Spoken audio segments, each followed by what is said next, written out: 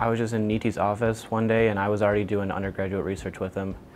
And he basically just um, asked me to go with him if it was something I was interested in. And kind of took me by surprise because I had never in a million years thought I would be going to Nepal, let alone doing drone research. And so, yeah, it was pretty awesome.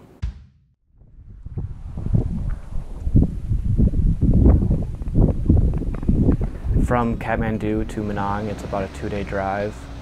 And then from there, um, we also had to kind of map out where we were gonna fly the drone. I see the glacier. You see it? Yep.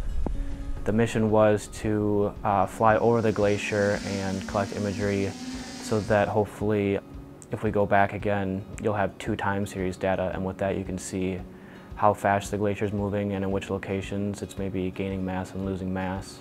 It was a large undertaking and you know, you read like peer-reviewed journals, but um, you know, experiencing it and doing it firsthand is something that I think was a great learning opportunity.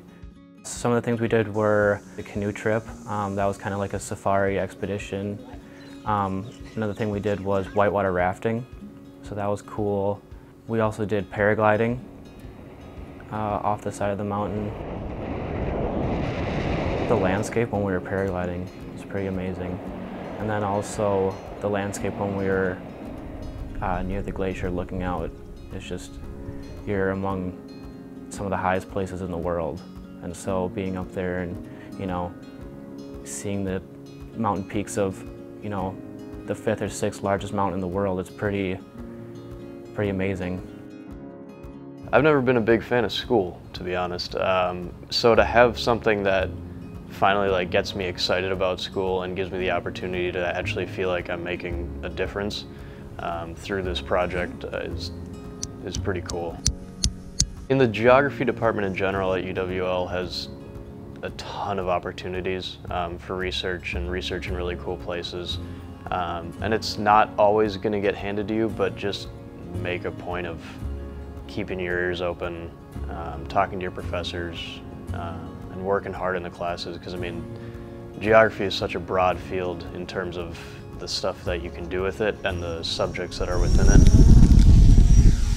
There's a lot of opportunities in the department. I think the biggest problem is they're not being taken advantage of as much as they could be. There's lots of research going on in all different study areas uh, within geography, so although I did aerial systems, there's plenty of other things you can do. And professors are more than willing to um, share their research with you and show you how it's done and advance you more than just your classroom learning.